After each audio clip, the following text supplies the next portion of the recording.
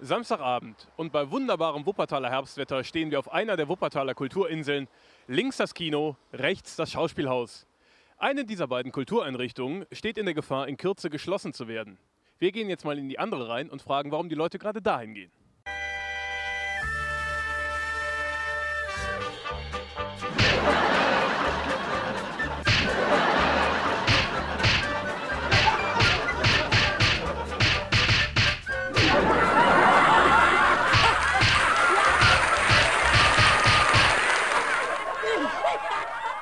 Entschuldigung, Entschuldigung, darf ich euch kurz eine Frage stellen?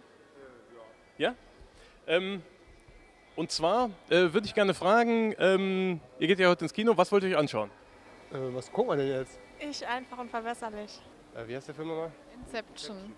Inception wollt ihr euch angucken. Eat, Pray and Love. Eat, Pray, Love mit Julia Roberts. Der ursprüngliche Plan war äh, äh, äh, Papa? Äh, wie durch ein Wunder. Was wollen Sie sich angucken? Goethe. Goethe. Das heißt, Sie sind durchaus kulturaffin, ja? Etwas, ja. Ähm, Sie werden ja bestimmt gehört haben, dass das Schauspielhaus äh, ähm, vor einer drohenden Schließung steht. Unter anderem, weil so wenig Leute das besuchen. Nee, habe ich noch nicht gehört. Haben Sie noch nicht gehört? Das Wuppertaler Schauspielhaus äh, steht in der Gefahr, nächstes Jahr geschlossen zu werden. Ähm, wie ist das? Warum gehen Sie jetzt heute ins Kino und nicht ins Theater? Das ist eine gute Frage, weil das irgendwie gar nicht zur Wahl steht. Wenn ich älter bin, gehe ich auch ins äh, Theater. Wenn du älter bist, gehst du ins Theater. Ah, okay. Tja, gute Frage. Wir wissen gar nicht, was im Theater läuft. Ja, im Kino gibt es ja auch mehr Werbung. Ich weiß gar nicht, was äh, im Schauspielhaus läuft oder so. Keine Ahnung. Wahrscheinlich viel mehr Werbung oder so. Mutter hat kein Programm, Programm gefunden. Ist das richtig? Ja, ich habe gesucht. Habe nichts gefunden, außer Pina Bausch. Man kennt das Programm nicht, man weiß nicht, was läuft. Egal, wo man hinguckt, Filme, es wird viel mehr über Filme gesprochen, weniger über Theater, es sei denn, man beschäftigt sich oder man interessiert sich für Theater. Ehrlich gesagt haben wir auch nicht geguckt. Habe ich auch nicht geguckt, was im Theater läuft.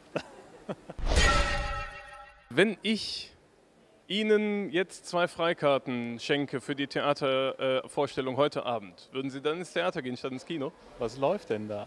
Kommt drauf an, was für eine Vorstellung das ist. Keine Ahnung, müssen wir nochmal überlegen. Läuft. Äh, da läuft heute ähm, eine Billion Dollar. Was heißt das? Äh, Das ist ein Theaterstück nach einem Roman. Da geht es darum, dass ein junger Amerikaner, jetzt ganz kurz zusammengefasst, ähm, plötzlich eine Billion Dollar erbt. Okay.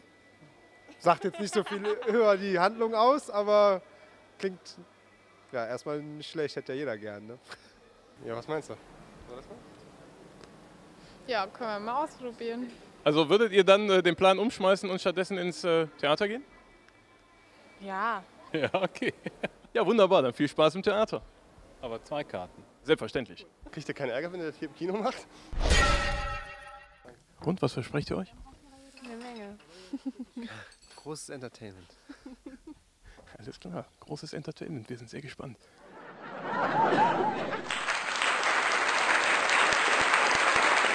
Wie hat es euch denn gefallen? Ungewohnt.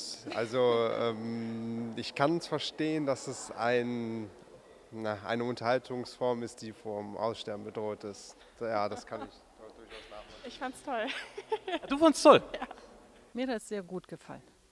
Also bereuen Sie nicht, nicht ins Kino gegangen zu sein heute? Nein, auf keinen Fall. Ich bin für so eine ja, unverhofften Überraschungen.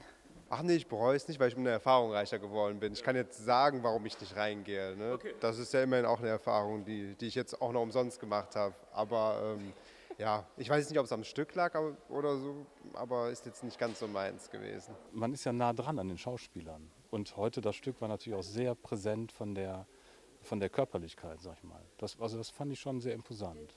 Die haben ja ihren vollen Einsatz gegeben mit dem Körper. Ne? Und äh, das kriegt man mit als Zuschauer. Aber das geht natürlich dann auch nah.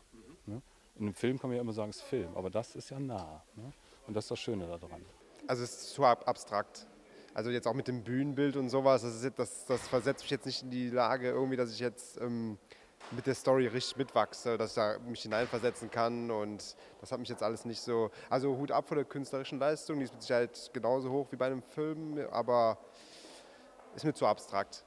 Ja, es ist halt was anderes. Ne? Also es ist, man kann es mit Kino nicht vergleichen, aber ja, Kino kennt man halt, man weiß, worauf man sich einlässt und das war schon auch sehr interessant.